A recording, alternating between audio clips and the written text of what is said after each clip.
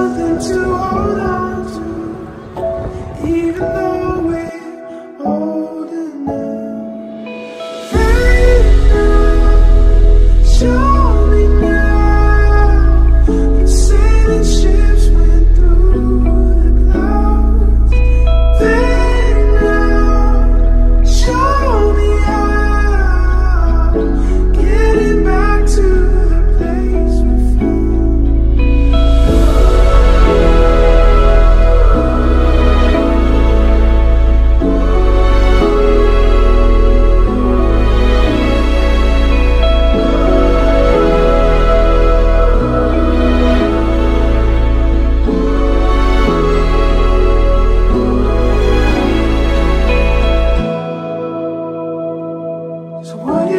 We had to do is start again?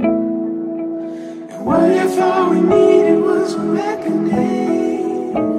So put your eyes on me, damn it, put your